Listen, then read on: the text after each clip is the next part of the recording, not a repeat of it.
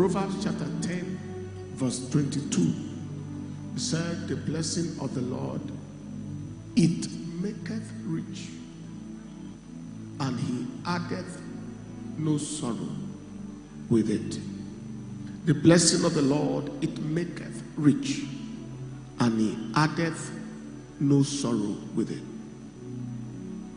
We are looking at the blessing maketh, the theme of the blessing Sunday this morning, the blessing maketh.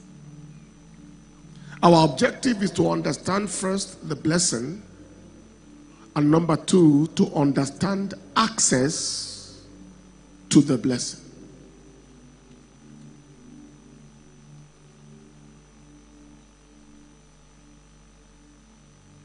The blessing of God to the minds of many is not clear. Many talk about the blessing. Many even tell people, the Lord bless you. But many don't understand what the blessing is. And even for those who understand or think they understand what the blessing is, many don't understand what to do to arrive at the blessing. But what is the blessing about? Before I define it in terms, let's understand three things about the blessing from the scripture. Number one, the blessing is behind the making of the blessed. God made men and women are blessing made people. Is behind the making of the blessed. The blessing of the Lord, it maketh. To be made into anything God wants you to be made into on earth takes the blessing. And the absence of the blessing is behind the unmaking of the unblessed. The absence of the blessing is behind the unmaking of the unblessed. Secondly, the blessing is the magnet of supernatural supplies. It maketh rich. The blessing is a connector to divine resources It's, a, is a, a magnet of supernatural supplies, a connector to divine resources. Whatever is available with God is collectible by the blessing. Whatever is available with God is collectible by the blessing.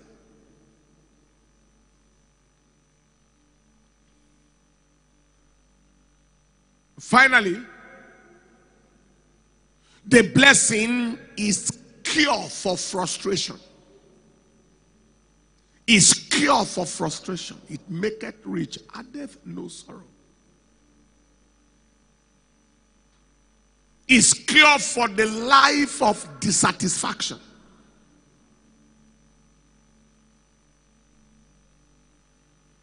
That is what we are here to connect this morning. Having said that, all that about the blessing, how will I define the blessing? So the blessing is behind the making of the blessed. Is the magnet of supernatural supplies, connects us with divine resources, and is the escape way from the life of frustration. Just the same way that the curse is reason for a lifetime of frustration. The blessing gives you escape from frustration. You know a cursed person because of the abundance of frustration. You know a blessed person because of escape from frustration. What then is the blessing by definition? I have three of them this morning and I'll define one per service. Number one, The blessing is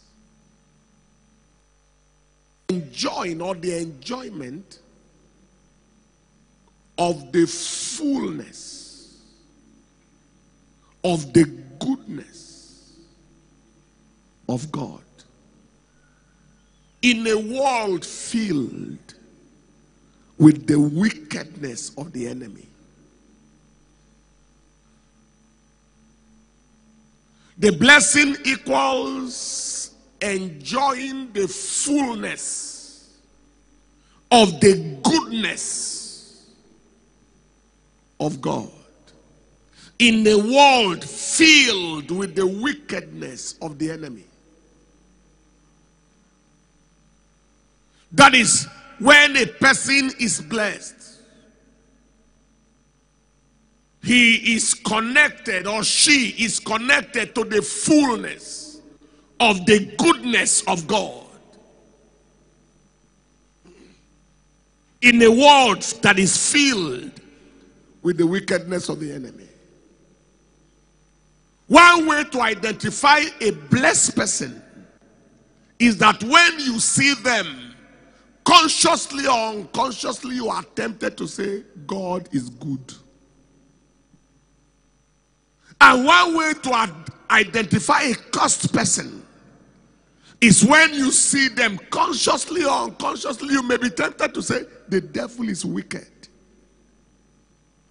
The devil, this devil is bad. Hallelujah. The fullness of the goodness of God.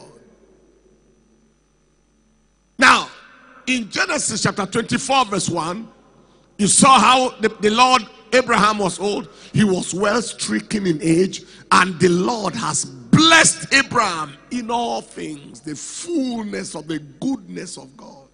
Anything, everything, fullness. Your health is working.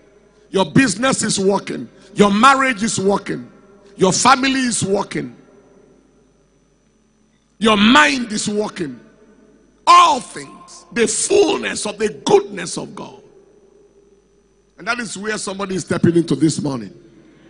If you believe that, say loud amen. So the blessing is far beyond the possession of money.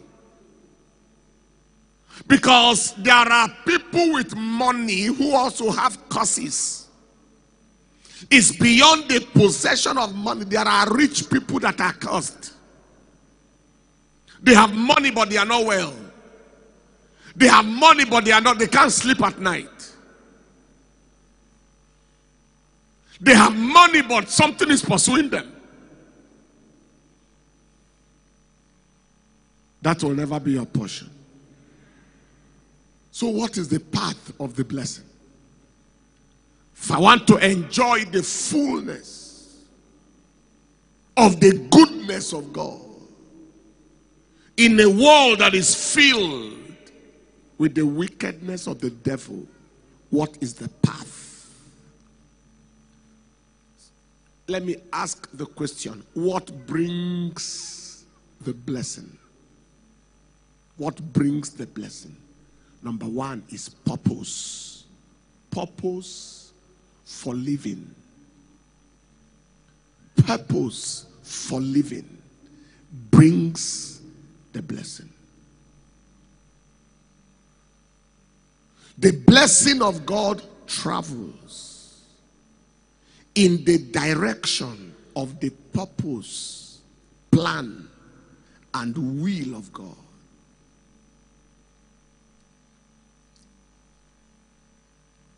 And God made man in his image. After his likeness. And God blessed them and said, Be fruitful, multiply, replenish the earth. It was defining man's purpose. And inside that purpose is the blessing. Am I communicating? In I'm going to say almost the same thing, but I'll use different examples in different services. Abraham is our example in this service. In Genesis chapter 12, verse 1 to 5, God said to Abraham, Get thee out of your country, from your kindred, from your father's house to a land that I will show you. I will make of you a great nation. I will bless you. I will make your name great, and you shall be a blessing. I will bless them that bless you, curse him that curseth thee, and in thee shall all the family of the families of the earth be blessed. So Abraham departed. God defined Abraham's purpose, defined his place. I want to do something great with you. I want to make you great. I want to cause you to be a progenitor of generations. Abraham departed. And he went to the place where God asked him to go. And in that place where God asked him to go, in that place he couldn't escape the blessing. Genesis chapter 13 and in verse 2. After Abraham had arrived where God asked him to go, Abraham was very rich in cattle, rich in silver, and rich in gold by the blessing of the Lord. The right place and the right purpose will attract to man's life the right results. If you want to see the right results with God, you must identify the right place and the right purpose where God will cause the results to happen.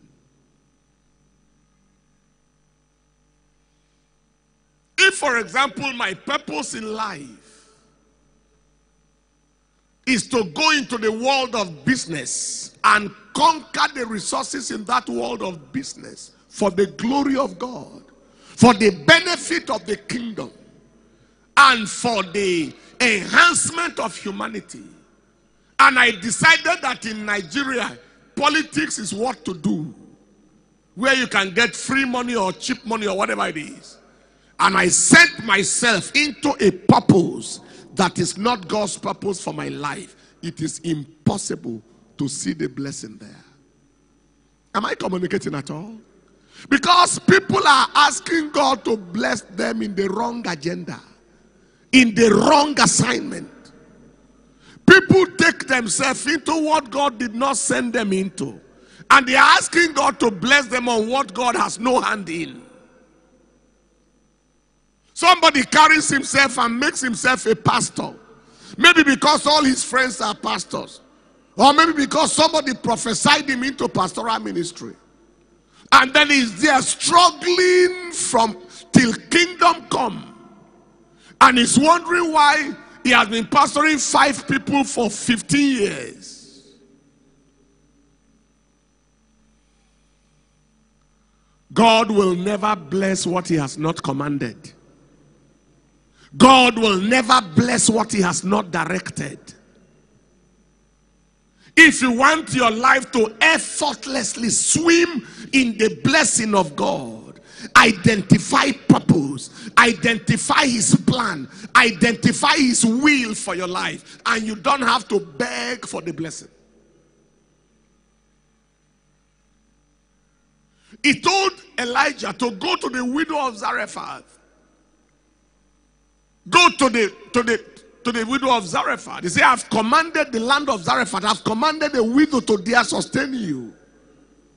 Just be where I want you to be, doing what I want you to do. You don't need to beg and pray for what I will do for you. This month, there is someone here who will receive clarity of direction, clarity of purpose, and clarity in assignment. If you are that one, you will say the loudest amen. If you are that one, you will say the loudest amen. Now, apart from the fact, and, and I want to say a very serious thing, apart from the fact that doing the purpose and will of God attracts the blessing, going against the purpose and plan of God does not only forbid the blessing, it may attract calamity. And that's a very serious one, isn't it? That is, apart from the fact that if you don't follow the will or plan or purpose of God for your life, you may not experience the blessing. Doing what God did not ask you to do may attract calamity. Because when you are where God does not ask you to be, or you are doing what God does not want you to do, his, your security is not guaranteed. Your safety cannot be confirmed. Am I communicating at all? What was it that attracted the curses into the life of Adam and Eve? By do, doing what God did not ask them to do, by eating the fruit God did not ask them to eat by taking what God did not ask them to take, they attracted curses into their lives. That was Adam and Eve. They ate the forbidden fruit. So, what brings the, the blessing? Purpose for living. Purpose for living. Understanding purpose for living brings the blessing. Number two, is principles of scripture. When you obey and live by scriptural principles, you are ushered into the world of the blessing. Deuteronomy chapter 28, verse 1, all the way to verse 2. He said, And it shall come to pass if you shall diligently, if you shall hearken diligently unto the voice of the Lord your God, to observe and to do all his commandments which I command thee this day. That the Lord thy God will set thee on high above all nations of the earth, and all these blessings shall come on you and overtake you if you hearken to the voice of the Lord your God. Inside the scripture is the package of the blessing. Principles of scripture. In everything, give thanks. That is a principle. He said, Don't murmur, don't complain, don't grumble. When you are faced with situations, give thanks. That is a principle of scripture. And following the principles of scripture is behind the making of principalities among men. The, the scriptures. But seek ye first the kingdom of God. That is a principle. That is, when you wake up in the morning, before you start answering phone call, seek God first. When you see food, before you start eating, talk to God first. When money enters your hand, before you start doing things, place God first. That is a principle of scripture. He said, when you hearken, do what I say you should do. Don't just read it, do it. Then these blessings shall come upon you. Am I communicating at all? There are many who carry the Bible, but they don't know what the Bible carries. Neither do they do what the Bible said. So the struggle continues. Principles of scripture. You know, some of the things God says to us are so simple. Many people are looking for the complexity of things, but they are so very simple. And it is in that simplicity that we see possibility.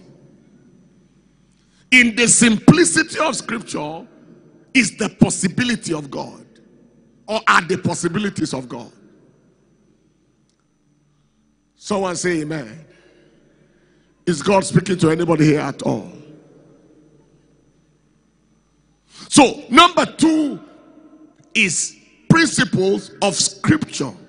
Number three is purity of life. The purity of life, which involves integrity, attracts and establishes the blessing of God. You see, these things are practical and they are real. In the book of Psalm 24, verse 3, who shall ascend into the hill of the Lord? Or who shall stand in his holy place? I'm reading up to verse 5, verse 4. He who has clean hands a pure heart, his soul has not lifted himself up unto vanity. He has not, is not lying and swearing. He has not sworn deceitfully. You know, there are people, they are lying and they are swearing. And in verse 5 said, that person that we just described in verse, in verse 4, pure heart, clean hands, is not lying and swearing.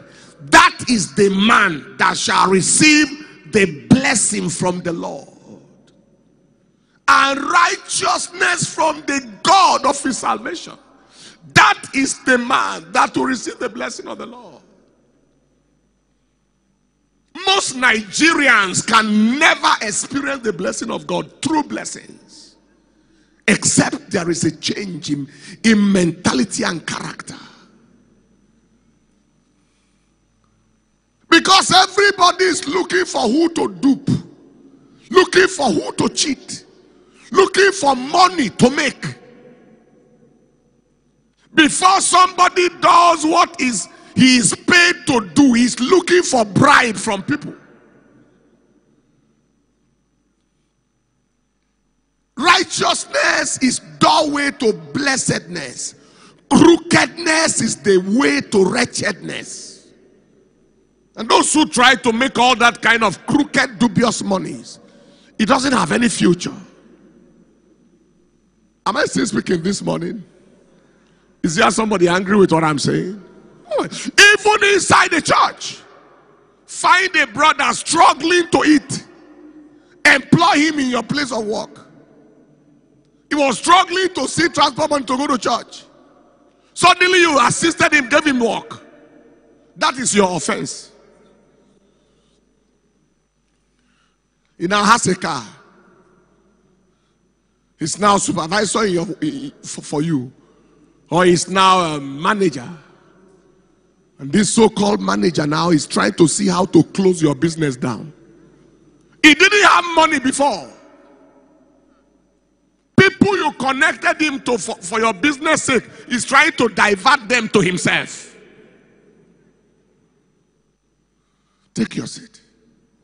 And many years ago, I got to learn that we don't, don't blame God when you see the frustration of some people, don't blame God. He saw their heart and saw them ahead and said, Leave this man there. Take your seat. You can be neatly blessed in Nigeria with a neat mindset and a neat character. Everything in this life is not all about money. He that has clean hands. Brother doing business with brother, challenge. Sister doing business with sister, challenge.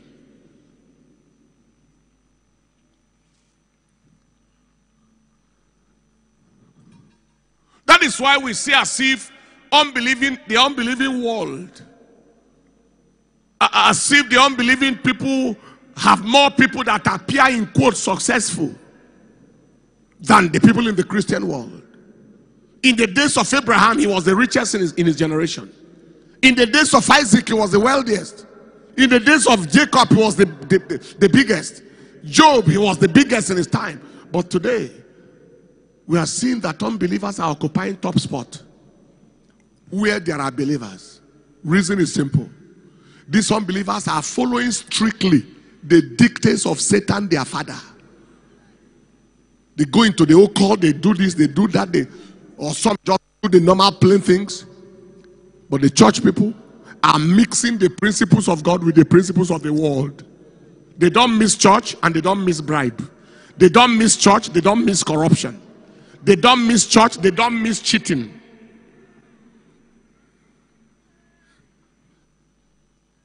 Are you following me? And so it is impossible. It is impossible to be blessed like that.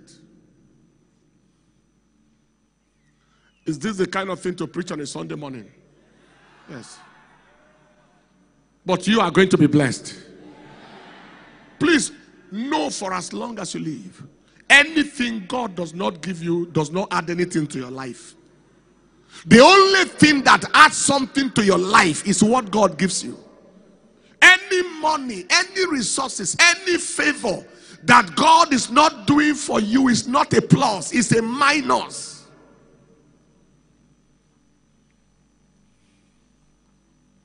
Purity of life. What brings the blessing? Purpose of, for living, principles of scripture, purity of life, the purity of life, all right, the practice of covenant. Number four, the practice of covenant. Purpose for living, principles of the principles of scripture, the practice of covenant. There is a covenant that says, as long as the earth remaineth, seed time and harvest, and cold and heat, and summer and winter shall not cease. And day and night shall not cease. That is, if there is somebody to give, there is a God to release. In Malachi chapter 2, okay, not Malachi, now let me take Genesis chapter 14, verse 18. At the place of Abraham's blessing, there was a release. Melchizedek, the king of Salem, brought forth bread and wine, and he was the priest of the Most High God. And he blessed him and said, Blessed be Abraham of the Most High God, possessor of heaven and earth. And blessed be the Most High God, which has delivered your enemies into, into your hand. And he gave him the tithes of all. At the place of the tithing, at the place of the giving, was the place of the blessing. Listen, your blessing is not guaranteed until your generosity towards God and His kingdom is confirmed. Blessing is not guaranteed until your generosity towards God and His kingdom is confirmed. He said, I will bless you and you will become a consumer. No. I will bless you and you shall be a blessing. A blessing to God, a blessing to man. I want to make you a channel, not a depot. I want to make you a channel, not not not a container. I, I am not trying to make you a container of things. I want to make you a channel for things. Am I speaking to somebody here? A channel for the kingdom, a channel for the less privileged. Me, when money is stepping into my hands, I am thinking in terms of how many churches will this build? Do you understand? I'm sure we are going to reach a point very soon. Now, I was talking with one young man the other day, and um, there is a place where we are building a new church, uh, where the Dunamis church, big church, is being built, and is going to be dedicated very soon. And the young man said, Please, sir, in that dedication program that will involve the crusade in the town, he said the whole cost of that crusade, renting of the stadium, and every single thing that has to do with that program, every single thing, please let let give us the opportunity to handle everything. Every single thing. Crusade. Every single thing. Everybody who will come for for, for, for ministration, their airfare, everything, every single thing, hotel, every single thing, renting of equipment, light, sound, every single thing, what whatever is the cost, let us handle. I don't want the church to handle one naira. Once, yes, that's right. That is kingdom. That is kingdom prosperity with purpose. He said one day we're going to fly somewhere, and um, I think there was challenge with um, the commercial air, air, air, airline, and we needed a schedule for the whole year. And if I do, I would like to take this one, this particular crusade that is holding in India, or this one that is holding somewhere. Somebody can say, What is the cause of tarring the road here or the road there, or building this particular construction, this structure? We need to come to a point where we have gone beyond survivor. Survivor means I, I thank God I just got a car. Thank God I just got a house. Thank God I just got a visa. That is normal survivor. Am I communicating? Where your heart is thinking massively. Where you are thinking like in, before 2020 is over, I should have been able to put up to five church buildings from foundation to roofing for the sake of the kingdom. I should be involved in mission work. I should be involved in this and that. Thinking in that sense. Not in the terms of how much can I, how much money can I get so I can travel abroad. You think far, think high, think big for the kingdom. And it enters your hands. In the course of this construction, every time money enters my hand, in my mind already I know where it's going. Oh wow, thank you God for this ma- massive amount. This one is going to this to these ones to this aspect straight. This is going here straight. This is going there straight.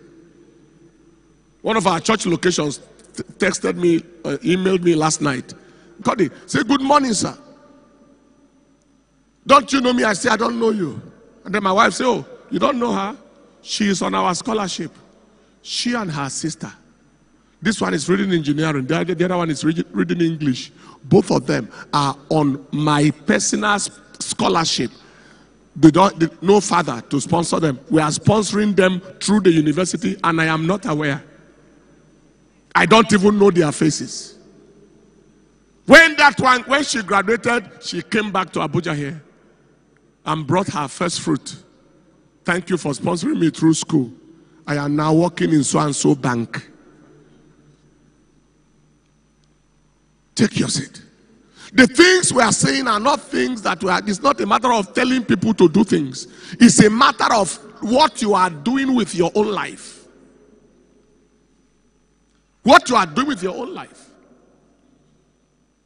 By April or so this year, uh, between March and April, one of the rural churches where God is helping us to build in one of the villages there, we are going to go and dedicate it.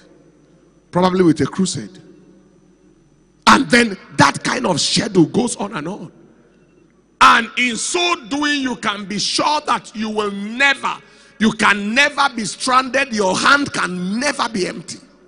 The practice of the covenant is number four.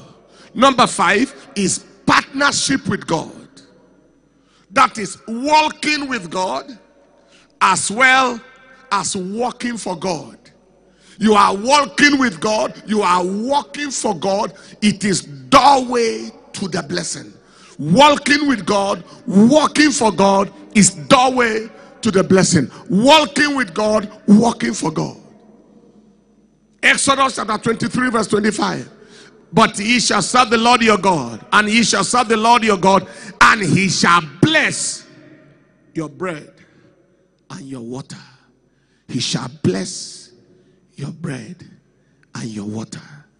He shall bless your bread and your water and take sickness away from the middle of you, from the midst of you. He shall bless your bread and your water. He said something to me yesterday and I will never forget. He said, If you make God the center of your life, He will make your life the center of the blessing. the blessing. Finally, the possession of the light of faith. The possession of the light of faith. There are scriptures that you see. The kind of revelation you see out of it will shift your blessing, just shift your life. You see? Just shift your life. What was it that shifted Peter? Light. Matthew chapter 16, verse 13, all the way to verse 19. The Bible says that when Jesus came to the coast of Caesarea in Philippi, he asked his disciples, saying, Whom do men say that I, the Son of Man, am? And they said, Some say you are John the Baptist, others say you are Elijah, others say Jeremiah, one of the prophets. And, and then he said unto them, But whom do you say that I am? And Simon Peter answered and said, You are the Christ. Revelation, the Son of the living God. And Jesus answered and said unto him, Blessed art thou, Simon Barjona, for flesh and blood has not revealed it unto you, but my Father which is in heaven. Blessed art thou. Why? Because you saw light. The weight of light you see affects the weight of the blessing you experience. Ask God to open your eyes to see things out of scripture you never saw before. They will connect you with resources you never saw before.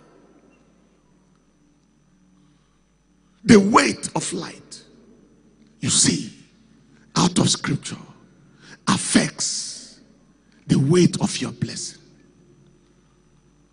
Men of faith like Kenneth Copeland and like God's servant Bishop David Oyedepo or Oral Roberts, Kenneth E.A. Hagin, they were men who were unusually insightful in God's, in God's word. And the insight of scripture produced for them blessings that the world couldn't understand. Someone like Kenneth Copeland, I hear he has given out free of charge about 27 aircrafts. As at the last time I heard, that is, this is my gift to you.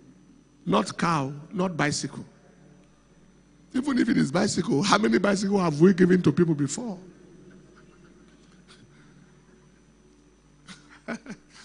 Praise the Lord. Something is happening to somebody already. How many of you see yourself blessed? You know, so when we accept responsibilities, we step into possibilities. See, these are responsibilities for the blessing.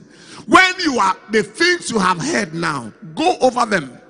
That is, what do you want me? Am I doing what I'm meant to be doing with my life? Am I following scriptural principle? Am I following the path of purity and integrity? Or I'm following the Nigerian crooked ways of doing things? Am I practicing the covenant or I'm just a consumer? Am I in partnership with God? Am I in possession of light? They affect the blessing. But today, I see blessings released upon somebody. Stand on your feet in a shout of praise. Anybody has been blessed today?